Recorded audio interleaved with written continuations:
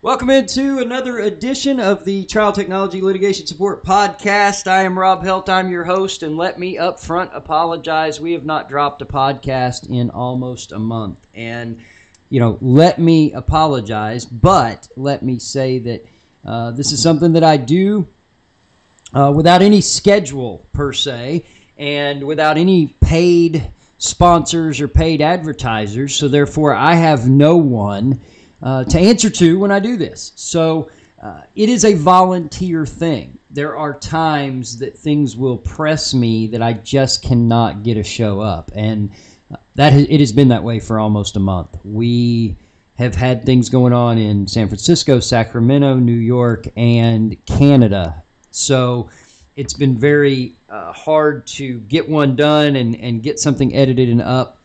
Uh, the other thing that came about is the trial technology seminar that we had on February 18th and 19th here in Dallas. That was last week, last Thursday and Friday. Uh, I've got to tell you, uh, it went off very, very well. It was the beta test to see if this is something we wanted to continue to do. It was myself, Ted Brooks, Jason Barnes. We put together the hands on learning environment, the trial technology seminar and training workshop.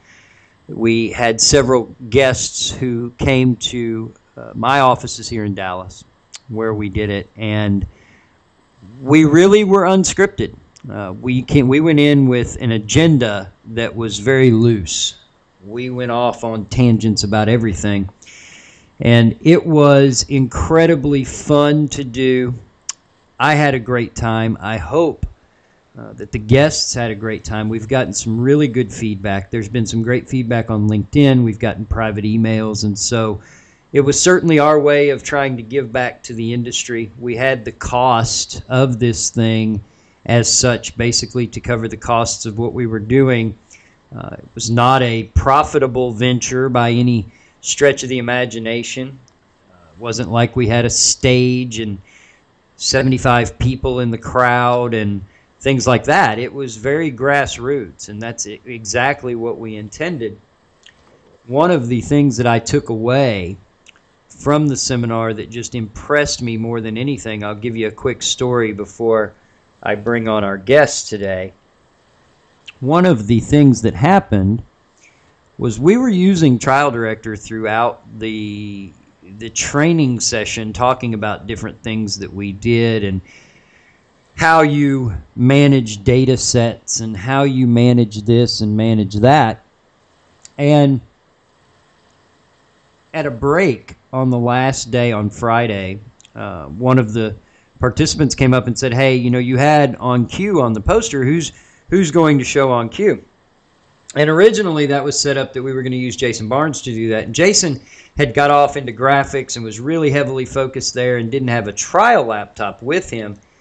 And so I said, "Well, I'll do it." And I needed to reinstall the latest version of OnCue on my machine, and so I sent an email to Eric Pubens and I said, "Hey Eric, uh, I'm going to demo OnCue for a couple of hours after the lunch break, and uh, I need to get the latest installs. So if there's any bug fixes or anything like that, I need those. And is there anything you need me to talk about?" And he replied and said, "Here's the link, and here's where you get it." And let me know when you're done with the seminar. Let me know how it went and maybe I can pop by and say hello. And I said, Well, are you in town? He said, Well, yeah. I said, Well, you're in Dallas? He said, Yeah. I said, Well, hell, why don't you come over and teach it? He said, Rob, I'm wearing shorts and a t shirt. I said, That doesn't matter. Come on.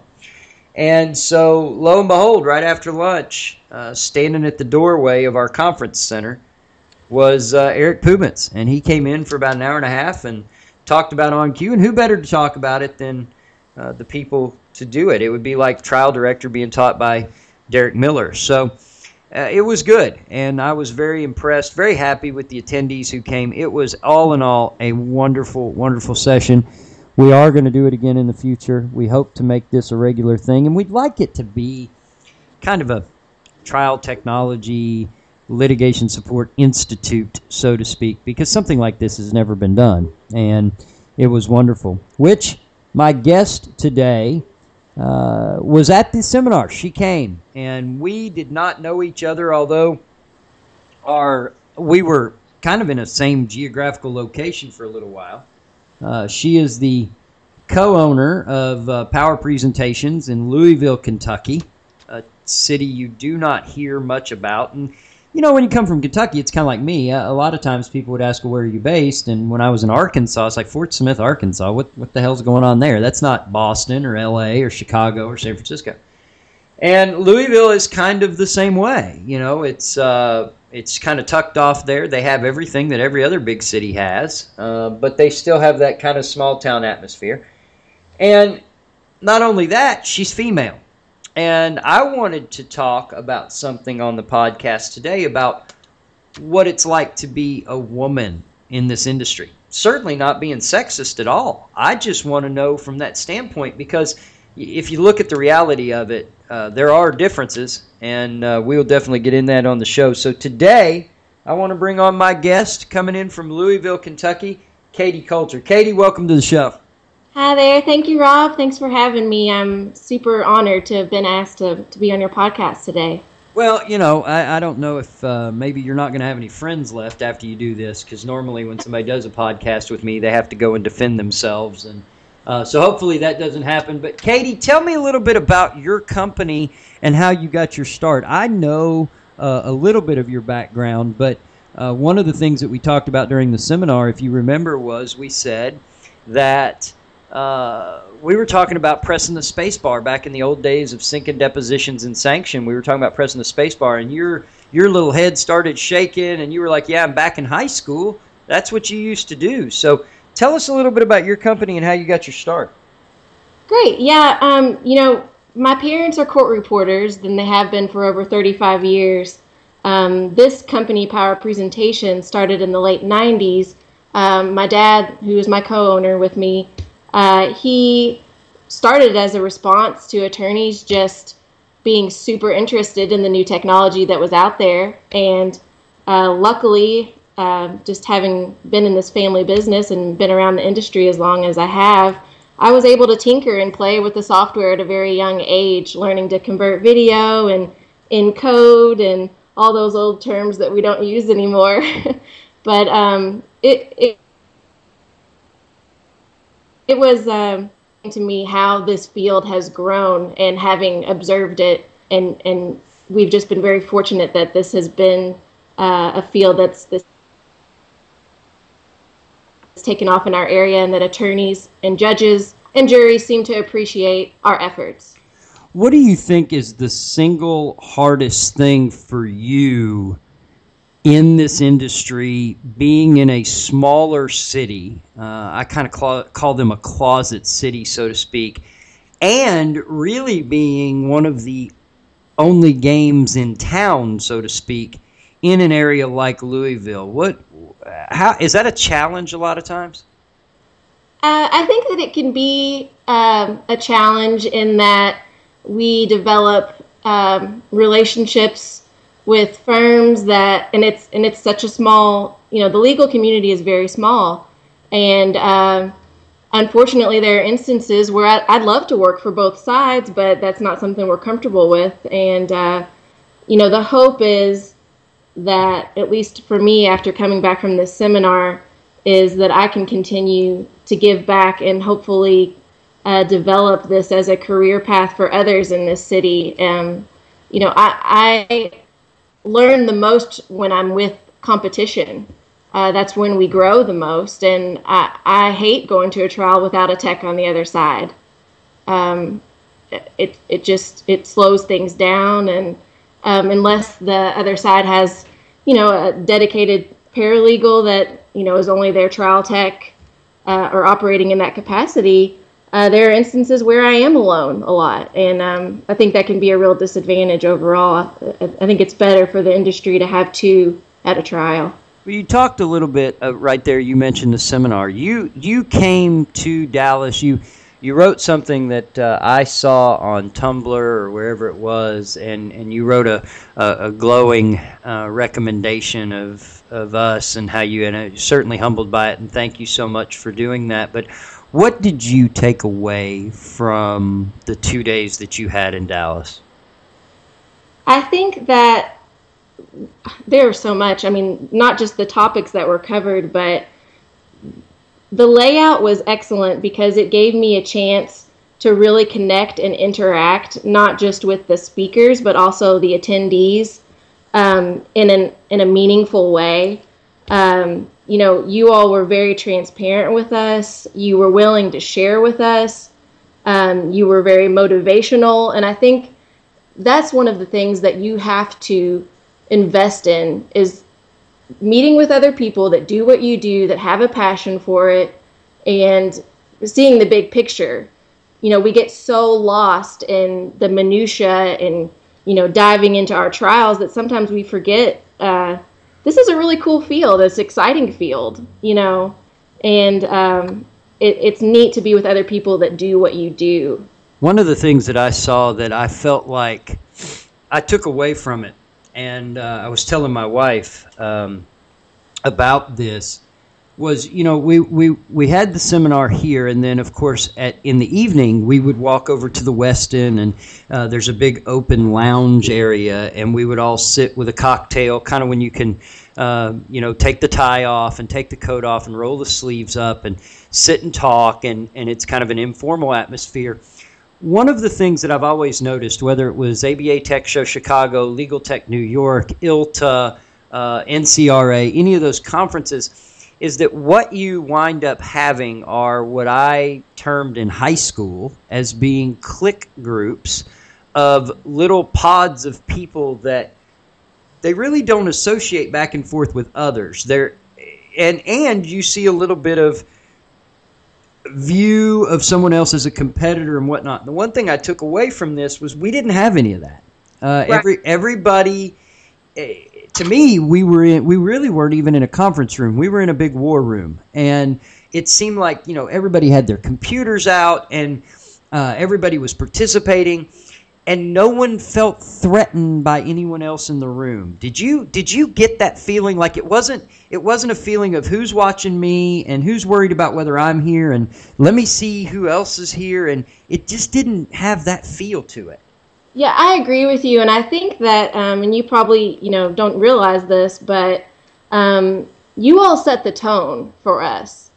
And uh, that said a lot as far as uh, us being able to feel comfortable and to realize that we are in the same boat. You know, the, it was um, the atmosphere was really authentic. Uh, I will say that I enjoyed every single person that was there. I hope to stay in touch with everyone. Um, just feel really fortunate that we had such a good group.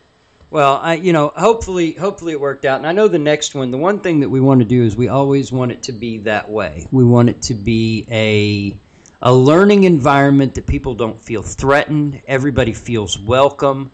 Uh, for Ted and I, uh, I, you know, I can't speak for Jason or uh, anybody else, but or Sue Ann or anybody or Rick or anybody, but, but but the one thing for Ted and I, I will speak for him, is that we wanted to be genuine and we wanted to be very approachable. We didn't want people to think oh, well, that's Rob Helt, and Ted Brooks, and they're up on the platform, and they're the all-knowing, all-being.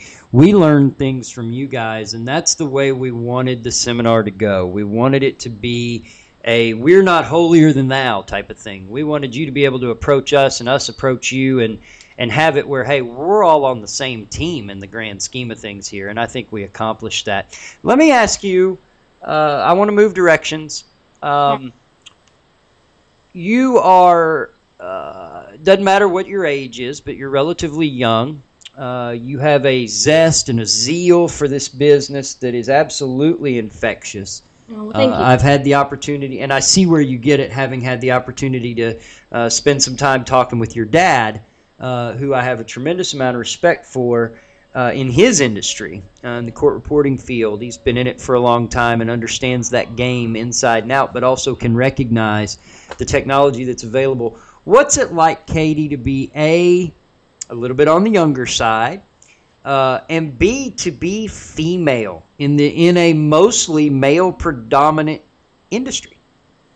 Yeah, uh, it is interesting. You know, um, immediately what comes to mind actually, there are two different trials that come to mind um, where I overheard jury members comment and say, you know, how nice it is to see a girl doing that job, or, you know, that it was a sign of how far we've come that, that a woman is doing that job. And um, while I think there are instances as a woman in any career where there might be that increased pressure to prove yourself, uh, ultimately, I think that being, let's say, a minority in this field actually serves to be a strength. And I know that there's a unique perspective I bring to the table um, that I can attribute to my specific, you know, life experiences. And my hope is that my contribution to this field is the assurance that women can and will succeed. And what may initially seem like a limitation is often your greatest attribute, you know. Well, I, I, I will say, you know, my partner for 10 years was a woman. And uh, she is someone that, uh, uh, regardless of our personal differences, um, I would put her in a hot seat in any trial in America because I know her work ethic and I know how good she is.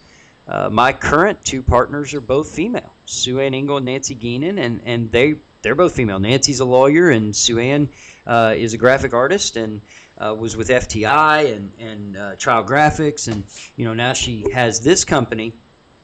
So I certainly see no gender bias. Uh, I have no gender bias. Uh, I think a lot of times there are some women who are better uh, in this field than 90% of the men that I've met because of the emotional factor. Uh, they're able to be a little, sometimes more particu- particular about things and sometimes more meticulous. Do you ever feel, though, uh, any kind of, I'm not going to call it discrimination, but do you ever feel like you're in the midst of whether it be at trial or wherever katie do you ever feel like maybe you're in the midst of a boys club and sometimes that tends to make things a little hostile if not outwardly certainly inwardly for you um there there are trials definitely where you know you're surrounded by the majority you know majority men but um, i will say that uh, after you've proven yourself and you show that you can be trusted, just like in any field, I guess, uh, our less aggressive approach, uh, in my instance or in my experience, has has proven to me that attorneys respond well to that. They seem to let their guard down a little bit more with me, and um, you know, be exposed. At trial, you have to be in touch with your insecurities, and if you're not willing to share your concerns as an attorney with your team, frankly, uh, it's it's not a good environment, you know. So I don't know. For me, uh, I grew up luckily with two great role models, uh, both of which you know they both had to challenge normal gender roles. Mom ran an all women's court reporting firm, you know, in the 80s and 90s. Dad is in a field, uh, you know, court reporters that the field was formerly dominated by males, but now it's dominated by females. Uh, so he is severely and painfully outnumbered by women all the time. And I've watched him, you know, successfully manage what at times feels like isolation and use it to his benefit. And um, it can be a value add, I guess, to use that term. I kind of hate that term, but to be done to give a diverse perspective, you know. But there are things that he can get away with saying that, quite simply, I just can't. Uh, whether and, and vice versa, and vice versa. Yeah, yeah, but you have to learn to play to your audience and know what is and isn't effective, you know. Well, what do you? How did you? If if you were going to look at someone out here and, and someone listens to this podcast, they say, you know what, I'm going to reach out to Katie, and and I'm I'm female, I'm new in this industry. What are some words of advice that you could give? One thing that stands out about you, and for those who have met Katie, great. For those who have not met Katie, uh, you have to understand her uh, her attitude and her her the way she carries herself. Um, and I think for you, Katie, it's a um, I don't know if that comes from the fact that you have an interest in, in yoga and you have an interest in in things that seem to be more calming. Uh, I'm not going to call it a, a Buddhist type mentality or a Zen type mentality, but I'm going to call it a very laid back, but you are still aware of the gravity of a situation that you were in, what would you give as advice for new people coming into this area, both male and female, but specifically female? What are some of the things you've got to look for? What are the, some of the things you've got to watch out for? And what are some of your words of advice to new people that may be listening to this? Well, I appreciate that, and um, those in my life that call me a spaz would probably disagree with you.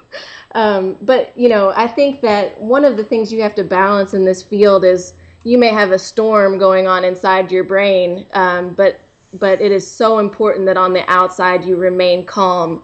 Uh, that transcends. I mean, it, it goes throughout the whole trial team if you're not calm, and it it is uh, just a very reassuring thing. So on the surface, you, you know, uh, you may you may be thinking about a hundred things that are going on, but nobody else needs to know that. And a lot of that is just practice, you know, and and learning that you're not going to die. Uh, things are going to go wrong; they always do.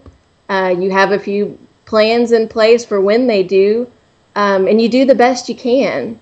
And I think you just have to be forgiving, you know, of yourself and and the equipment, uh, and you have to just focus on what you can control, you know.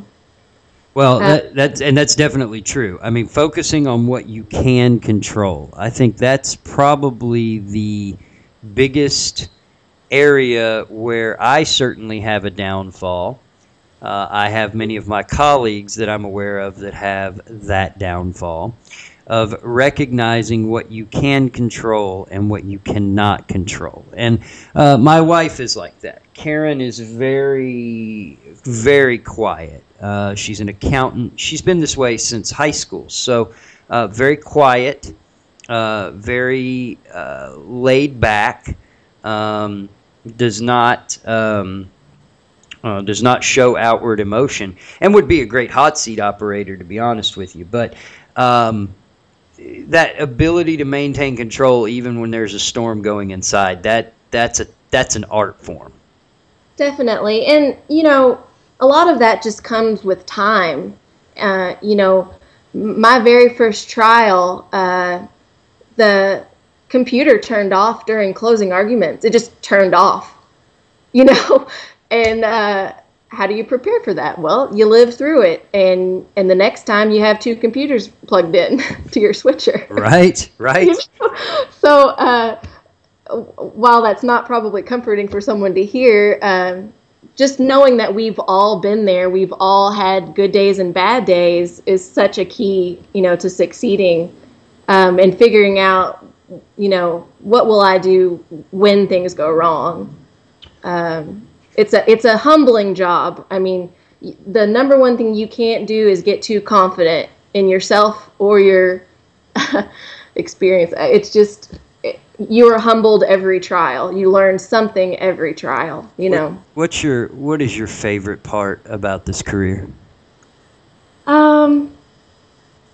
On a personal level, I would say you know traveling throughout the state. Uh, I know that you mentioned I'm in Louisville, but I'm I'm all over Kentucky and small towns, and it's connected me um, to this place in a way I, I didn't expect. Um, it's exposed me to small town life, you know, humans' capacity to be hospitable. It's taught me juries are unpredictable, um, but mostly I think it teaches me compassion. You know, courthouses are very sad places um, you learn so quickly to be grateful for your circumstances and it's humanizing to kind of sit in on someone else's life. Uh, the truth is we really aren't so different from from anyone that we see in the courtroom and I think one of the biggest problems we face is that lack of empathy and being able to think outside yourself. This job forces you to put yourself in someone else's shoes what has been the hardest thing for you as you continue to grow Power Presentations?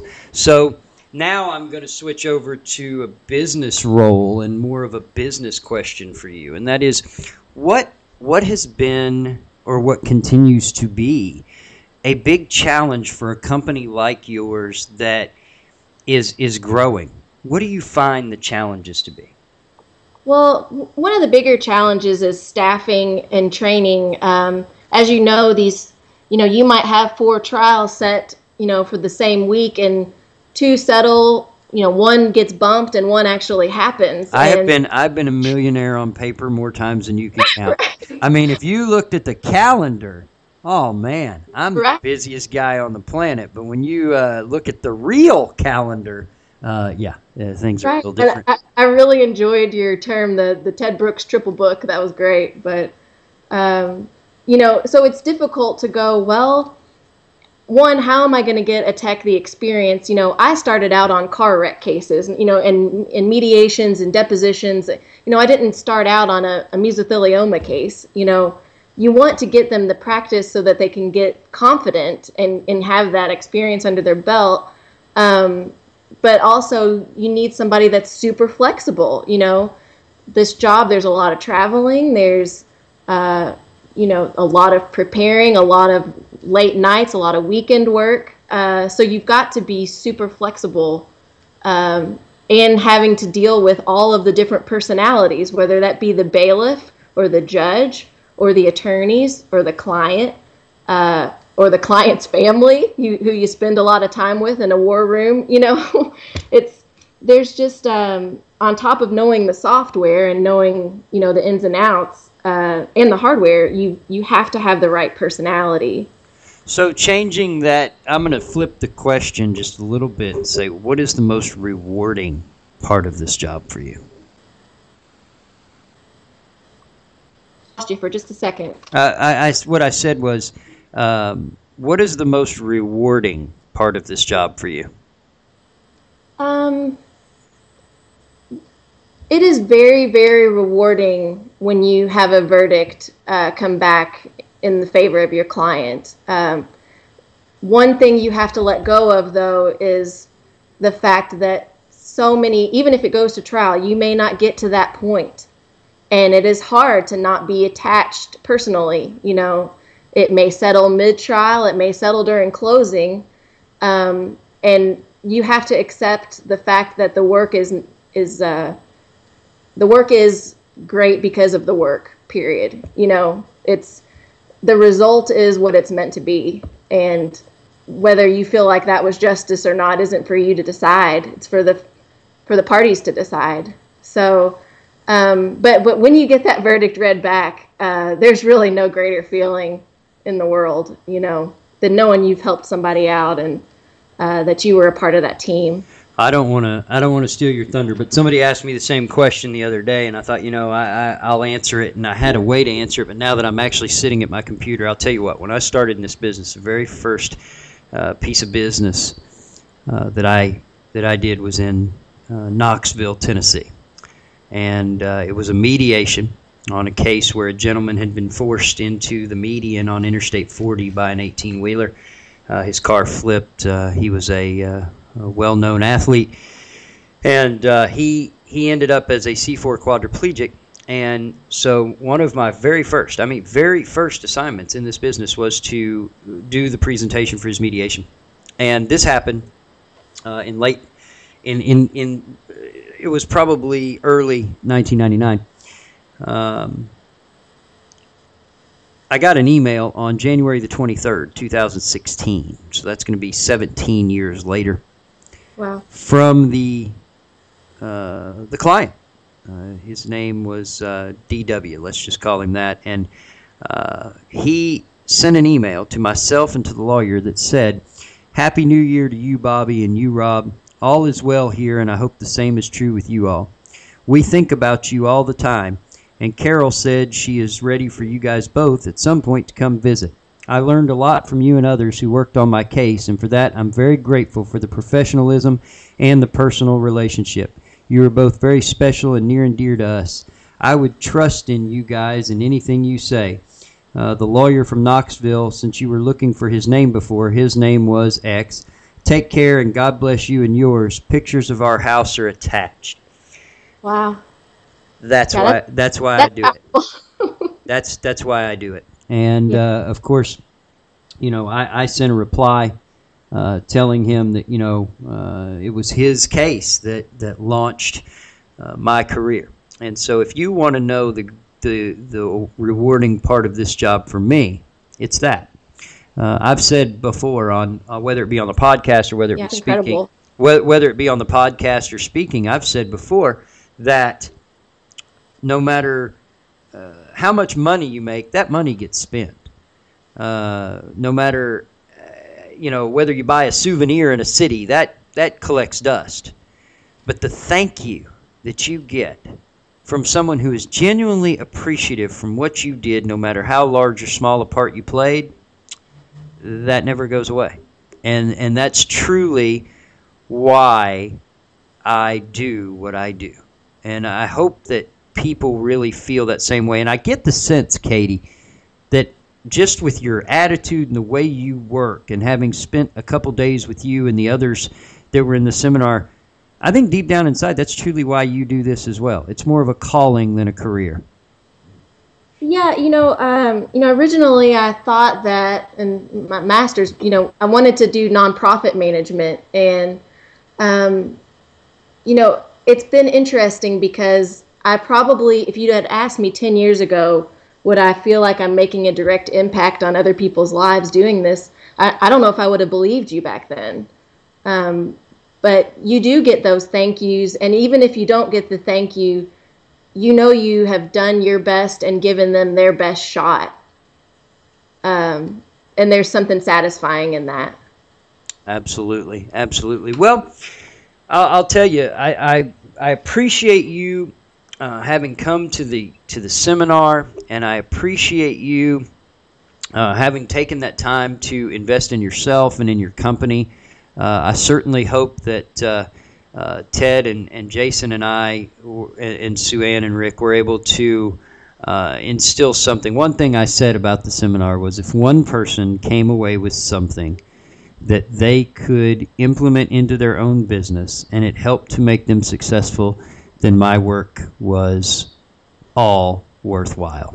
And I feel like uh, I feel like that happened. If not with you, definitely with a few others. And um, you know, I thank you for your dedication to the industry. Uh, you're actually a uh, seasoned well beyond your years because you've been in this game for a long time. You've grown up around the game and you understand it, and uh, that is certainly uh, hard to find as well. So, if everybody out and thank you, and also you know thank you very much, Katie, for being on the show. Let me, Sure tell you that I'm glad you were on.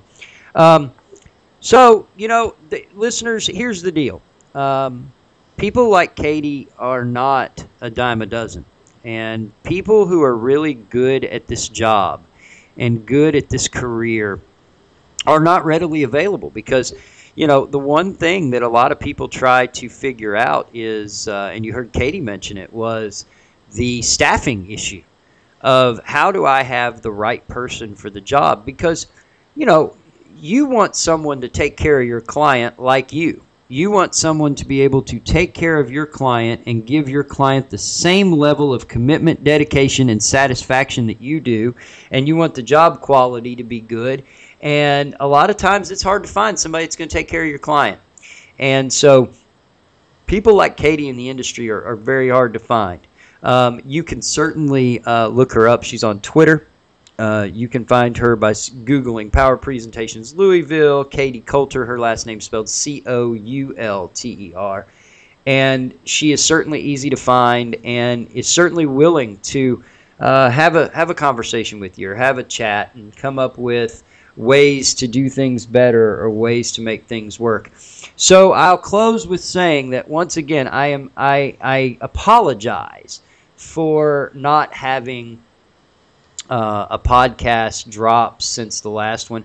As I said on the last one, Richard Katz was going to be my next guest. Rich has been incredibly busy. I will say, coming up, we are going to have Rich Katz. We're going to have Derek Miller. Uh, we're going to bring the guys at OnCue on again because I need to have a conversation with them about some of the new things that are about to come out. There is a version uh, that is about to start. And I want to have a few more guests that came to the seminar. Um, and so. Uh, if there's anybody you want to hear from, remember, drop me a line at Trial Tech TechCast. You can tweet me or you can email me. That's rob, R-O-B-B, at suannengle.com. So for my guest, Katie Coulter, I am your host, Rob Helt, and thank you for tuning in to the Litigation Support Trial Technology Podcast, and we'll see you again soon.